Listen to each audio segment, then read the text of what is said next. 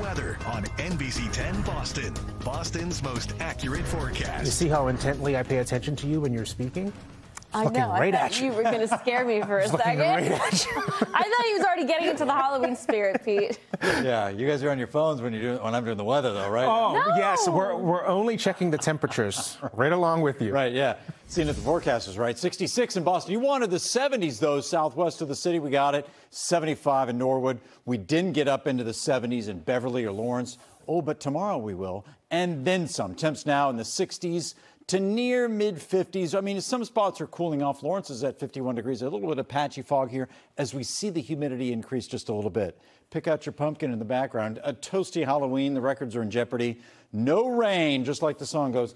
And just a few sprinkles will come through perhaps on Friday and perhaps on Tuesday. That's it. This drought will continue. We'll expand it. By tomorrow, we'll have a new drought outlook and then a sharply colder spell for the weekend. We have a couple of high clouds that will add to that eerie feel for tomorrow. They're getting sprayed across New England underneath that big high.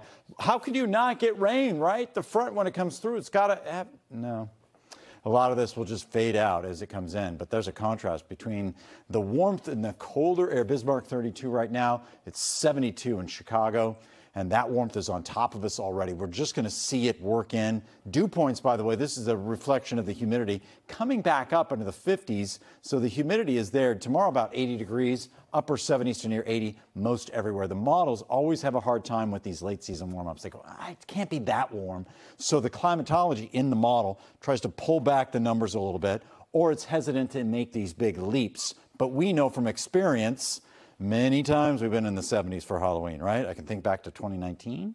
2004, 2005, 2009. So it's not like this is a big leap, but it is to push it to record levels. We haven't been there before, obviously. Worcester could set a record, 77, and then frighteningly mild all the way through the evening for trick or treaters. Look at these numbers, right? I mean, you're going to switch up your Halloween costume now? Hmm, maybe. All right, later in the evening, if you're going out dressed as J-Lo, I think you'd be fine. Look at these temps. You're mm, 67, 66 degrees by 10 and 11 o'clock and or Ariana Grande. And you can see Friday about 78. More wind is in the forecast. We're holding on to some of that warmth. And then Saturday, 54 degrees, chilly temperatures. We're back to the sweater weather, and you can see that southwest wind too uh, through Chicago and through Springfield. Doesn't look all that impressive, but by the time that front gets through here, the switch up in the in the in the temperatures and with all that wind, I think some gusts maybe up to 30 miles an hour. The cold comes back for the weekend, so we are in jeopardy of some frost in the suburbs. By the way, Sunday and Monday morning, and Boston may be very close to a frost at least on Sunday morning, but then back up again next week. So you know where the 10 day is going, right? It's going back up into the 60s and 70s.